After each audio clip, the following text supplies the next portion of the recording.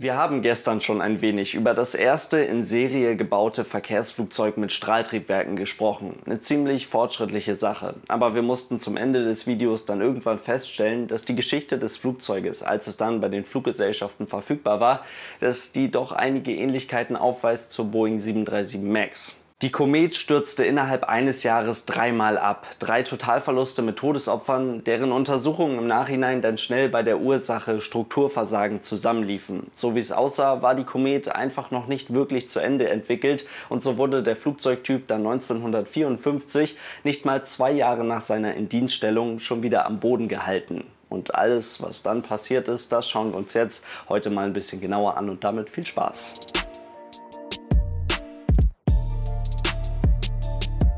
Und damit hallo und ganz herzlich willkommen zu einem neuen Video. Ich hoffe, es geht euch gut. Also, ich habe mich gestern sehr gefreut über eure Kommentare. Viele von euch scheinen sich sehr für diesen Flugzeugtypen zu interessieren und haben sich dann sehr über die Infos gefreut und ich hoffe, dass wir heute genauso weitermachen können. Also, die Briten, die hatten es tatsächlich geschafft, das erste Passagierflugzeug mit Jetantrieb auf den Markt zu schmeißen. Den durch den Zweiten Weltkrieg entstandenen Rückstand im Thema Flugzeugbau konnten die Briten somit nicht nur aufholen, sondern sie waren jetzt der Konkurrenz sogar einen großen Schritt voraus. Wirklich darüber freuen konnte man sich aber aufgrund der eben genannten Ereignisse nicht. Ein Auseinanderbrechen in der Luft mit 43 Todesopfern im Jahr 1953, wenige Monate später, dann Anfang 1954, ein zweites Flugzeug, das auseinandergebrochen ist, da dann mit 35 Todesopfern. Ja, sollte man das Flugzeug jetzt verteufeln? Wahrscheinlich nicht. Immerhin ist es das erste seiner Art. Es ist und bleibt ein Vorreiter, ein Pionier in diesem Bereich. Und auch wenn an diesem Flugzeug zu dem Zeitpunkt sicherlich rein gar nichts perfekt war, alles, jede Schraube noch hätte überarbeitet werden müssen, um ein wirklich sicheres und perfektes Flugzeug daraus zu machen, so ist es immer noch das Flugzeug, das die Passagierfliegerei in Jets Anfang der 50er Jahre ermöglicht hat. Das darf man vielleicht nicht aus den Augen verlieren, wenn man jetzt gleich über die ganzen Fehler dieser Maschine spricht.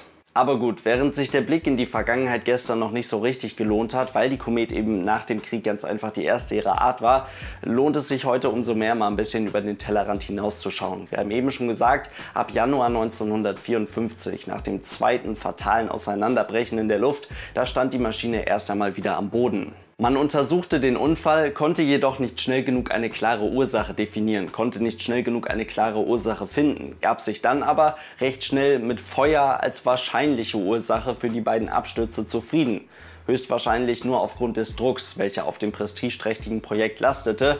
Ja, und wenige Wochen nach der erneuten Indienststellung der Komet kam es dann zum dritten fatalen Absturz, wieder zum Auseinanderbrechen in der Luft, diesmal mit 21 Todesopfern. Und von dem Zeitpunkt ab April 1954, dort verlor die Komet erst einmal ihre komplette Zulassung. In den Vereinigten Staaten wurde währenddessen, und jetzt aufpassen, im Mai 1954, also nur knapp einen Monat später, die Boeing 367 aus der Halle geholt.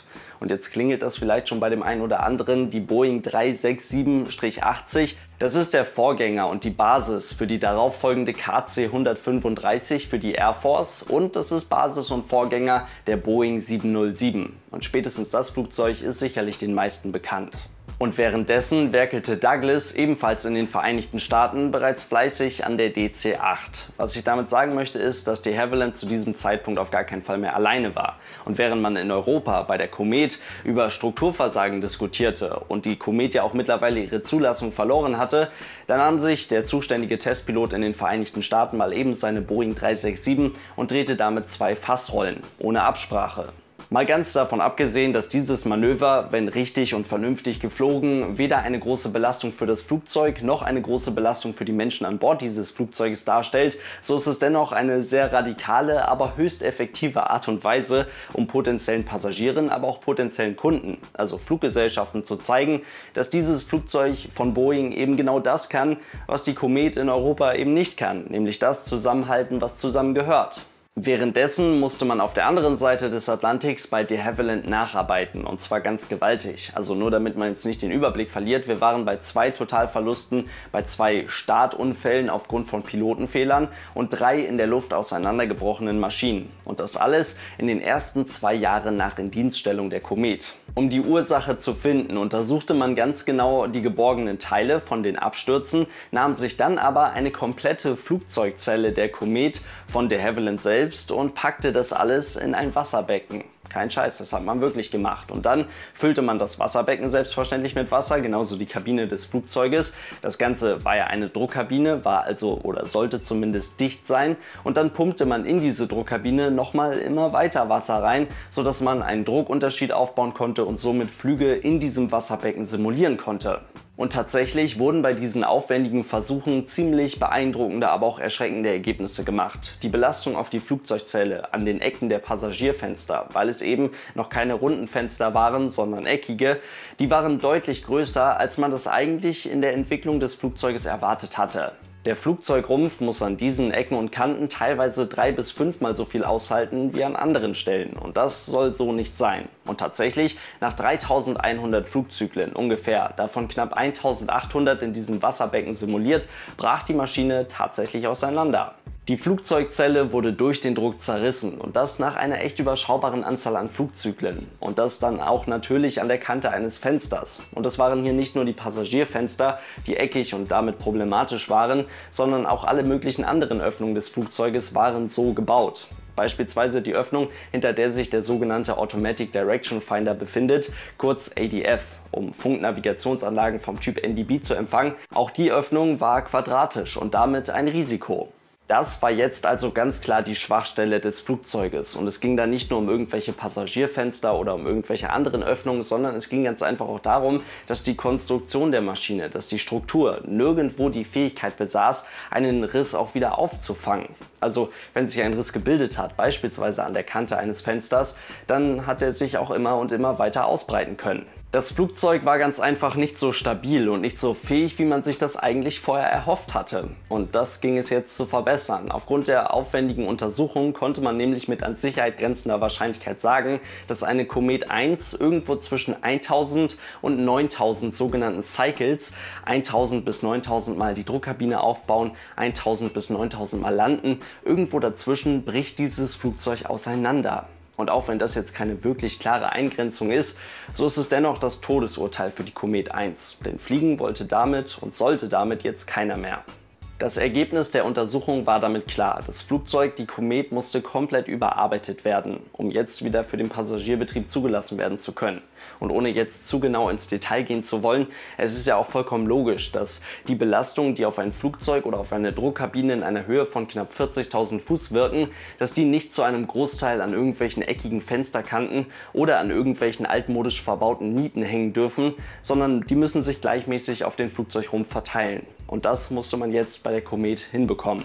Und das schaffte man unter anderem durch verstärkte Materialien an wichtigen Stellen oder ganz einfach eben auch durch runde Fenster. Von da an wurden in Flugzeugen auch nur noch runde Fenster verbaut.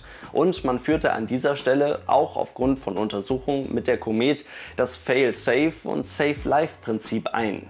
Seitdem ist das in vielen Bereichen, aber eben auch im Flugzeugbau ein Standard, um Bauteile zu beurteilen, um Wartungen durchzuführen, aber auch um Systemredundanzen aufzubauen. Alle bis dahin gebauten Comet 1 wurden jetzt entweder verschrottet oder modifiziert und konnten dann weiterfliegen. Genauso war es auch mit der ab 1953 erhältlichen, etwas verbesserten Version Comet 2, die dann übrigens auch mit den optimierten Rolls-Royce-Triebwerken unterwegs war. Die Fluggesellschaften stornierten die offenen Bestellungen für das Flugzeug oder aber die Maschine wurde auch hier modifiziert, überarbeitet und konnte dann weiter fliegen.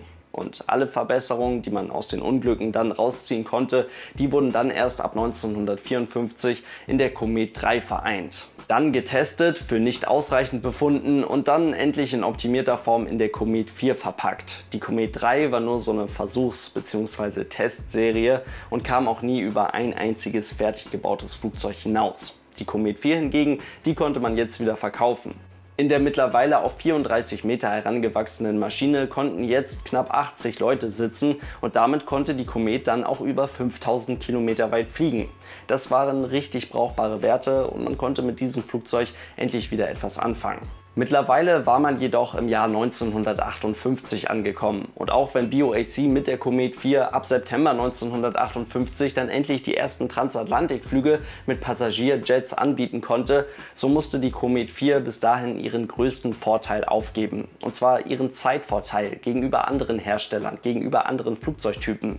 Denn mittlerweile hatte auch die amerikanische Boeing 707 ihren Erstflug durchgeführt. Das Ding war moderner, effizienter und unterm Strich ganz einfach das deutlich bessere Flugzeug. Ab 1960 war die Boeing 707 dann auch bei BOAC verfügbar und machte dort innerhalb kürzester Zeit die Komet ziemlich überflüssig. Bereits 1965 musterten die Briten ihre letzte Komet 4 aus.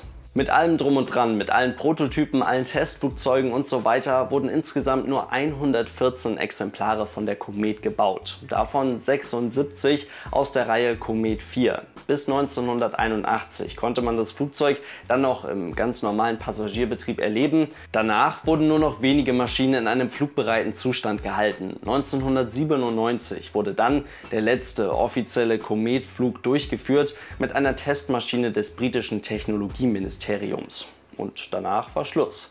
Und so bleibt die Erinnerung an ein sehr abenteuerliches Flugzeug, an einen Pionier mit deutlichen Fehlern, die die Maschine schnell überflüssig, aber nicht unnötig machten. Viele sagen, wenn de Havilland zu dieser Zeit diese ganzen Fehler, diese ganzen Schwierigkeiten nicht durchgemacht hätte, diese Fehler an ihrem Flugzeug nicht gemacht hätte, dann wäre das alles jemand anderem passiert, einem anderen Hersteller, vielleicht Boeing oder vielleicht Douglas. Ob das genau so passiert wäre, das wissen wir natürlich nicht, aber es klingt schon recht plausibel. Heute findet man das Flugzeug nur noch im Museum und auch hier in Deutschland gibt es eine Maschine und zwar in der Peter Junior Flugzeugausstellung. Müsst ihr mal einfach googeln, falls ihr euch das Flugzeug mal in echt angucken wollt. Dort findet ihr eine Komet 4 falls es jemanden interessiert. Ansonsten soll es das heute gewesen sein. Vielen lieben Dank fürs Zuschauen. Ich hoffe, es waren ein paar interessante Informationen für euch mit dabei und ich hoffe, das war ein ja, passender zweiter Teil zu diesem Flugzeug. Heute geht nochmal ein großes Dankeschön raus an Jonas für eine tatkräftige und großzügige Unterstützung über meine Patreon-Seite. Vielen lieben Dank an dich. Damit hilfst du mir und dem Kanal sehr und dann sehen wir uns hoffentlich morgen bei einem neuen Video wieder. Bis dahin, lasst es euch gut gehen und tschüss.